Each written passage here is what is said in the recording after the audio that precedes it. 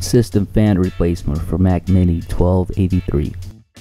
The tools we're going to need are tweezers, a prying tool, and a screwdriver kit with a flathead and a Phillips head screwdriver. Go ahead and start by flipping over the Mac and prying into the seam on the right side. We're going to need to pry in from both sides, so use the flat-headed uh, screwdriver as a prying tool to come in from the opposite side. Working your way and applying pressure, we need to kind of bend the case a little bit and push out the uh, the frame. Once you have that separation, you can just push it apart and you can see it was being held in by pressure with plastic uh, pieces on all sides. We'll first need to remove three antennas. They're held in with pressure, so by just gently pushing up on them, they should be able to unclip. Don't lose the spring that's underneath. Go ahead and pick that up and put it over to the side. Now peel back that little guarding tape. Move on to the next antenna, the gray one. Go ahead and pull that up as well and move that spring over to the side. Flip the Mac Mini around and get to the third antenna. This one we'll have to push in with our fingers and squeeze together as we pull up on it. And that should come right out like that. And this third spring. Okay, we'll need to remove these four uh, Phillips head screws that are uh, securing the DVD drive, optical drive. Okay, there's one there that we'll need an adapter for, and one right there. Go ahead and remove those four. Use an extension to remove that one right there if you need. Go ahead and remove these two.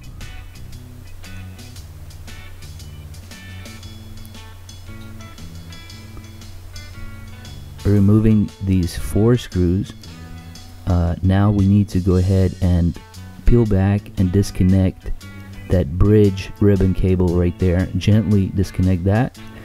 Peel back that little piece of tape.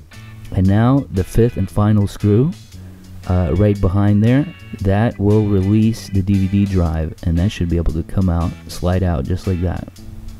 With the DVD drive, drive removed, we need to remove the hard drive bracket uh, enclosure. It's being held in with four Phillips head screws you shouldn't need an adapter for this. Uh, a standard reach screwdriver, Phillips head screwdriver should be able to get those.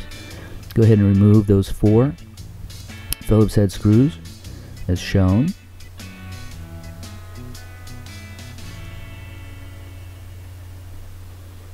With those four screws removed, go ahead and start prying and lifting up uh, that hard drive and bracket has a bridge that connects it to the logic board so just gently push it up.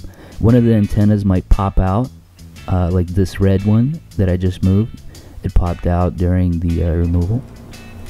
So to get the system fan out we're going to need to peel back uh, some of the guarding tape and go ahead and disconnect this blue cable right here that's connected to the back of the uh, hard drive bridge. Go ahead and uh, disconnect that trace it out. That's the uh, cable that's attached to the fan. The fan is screwed in with two Phillips head screws. Go ahead and remove those. And you can just peel it right back. And that's it. It's out. Fan installation. Place the fan back into its socket. Uh, make sure it's nice and tight. Go ahead and secure the two Phillips head screws.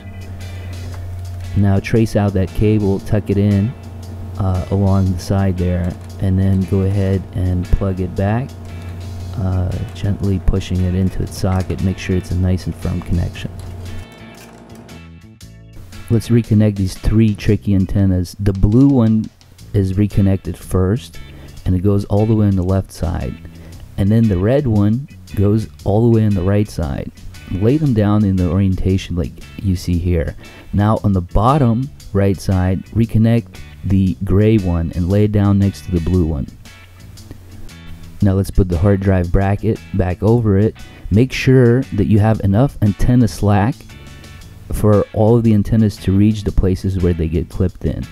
Make sure to check that that connection bridge is plugged into the logic board and you have a nice and solid connection, go ahead and secure it with the four Phillips head screws.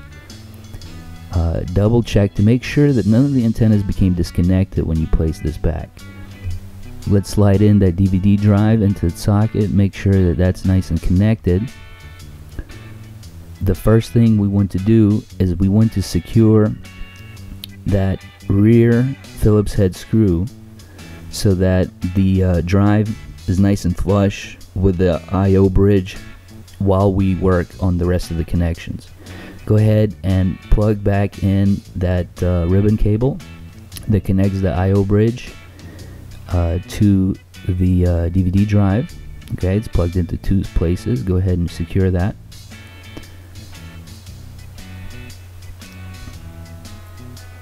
Once that's secure, go ahead and put back the two Phillips head screws on the left side and then the two Phillips head screws on the right side of the DVD drive. That last fourth screw might need a uh, extension socket.